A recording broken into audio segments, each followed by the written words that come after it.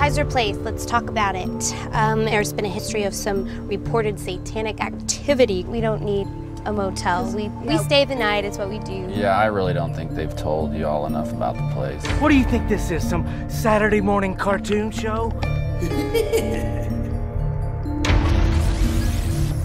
This is beautiful. This place is totally fucking haunted.